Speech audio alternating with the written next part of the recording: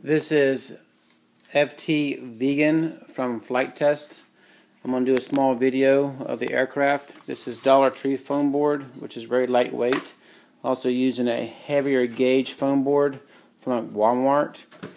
I also went ahead and rounded the edges. So this is going to be like a small video of the aircraft.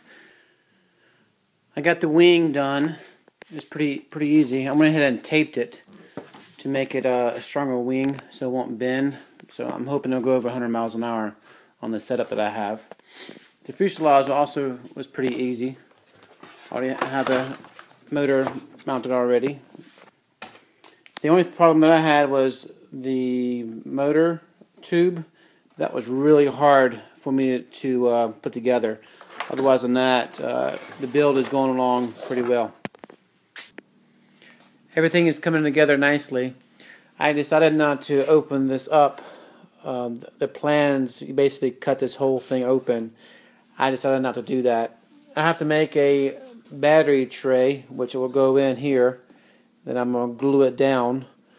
Uh, it does not come with the uh, plans. You have to do it yourself. Uh, everything else is uh, working up nicely. There's I had some uh, white spots here. I got some spray paint black and just spread it down. Over here, I'm painting these black. I uh, put uh, some tape here and then spread it down. So uh, it's coming together nicely. And uh, I'll keep working on it. So here's the airplane now finished. A few things I did differently were the wing and the canards and the fin are a heavier gauge uh, foam board from like um, Walmart. And underneath is done as well.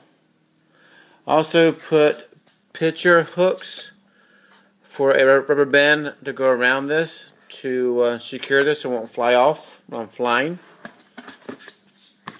Also made a battery tray here I made a, a large one because I want to put a, um, a six cell in this eventually. So I just made this to butt against the battery and keep it from um, moving or moving around like that. And this is the battery battery right here. All right, so hopefully things will go well. I'll uh, give you the specs on what I'm using for the motor in a few minutes. Here are the specs that I'm using from Hobby King. A Dr. Mad Thrust 70 EDF fan unit, which goes up to 6 cell. Right now, I plan to use a 4 cell on it, which is the Zippy 2650. Also using a Turnigy Metal Gear servo, which is this heavy duty gauge right here that works really well. Again, that these are the specs. Alright, so now it's uh, time to go put this bird up in the sky and hopefully it does well.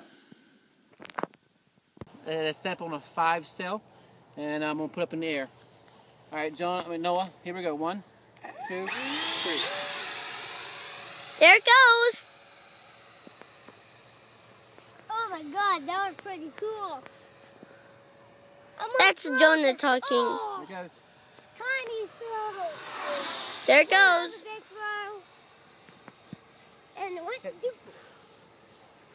So I have it set out on a five cell and uh, has pretty good thrust.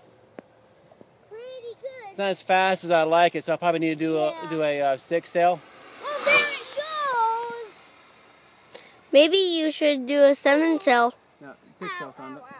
Okay, so I'm gonna come in for landing now. I'm bringing it around one more time. Do a pass. No. Roll it. It's wobbly on the turn. Wobbly on the turns. Okay, here I come. Come in for landing now. It's out, Jonah. Everyone, scoot in, scoot in. Wait, where is it? Come oh, there it is. Oh, that's a little hard. So the plane flies uh, well on a five cell. I will do a six cell, uh, probably go faster.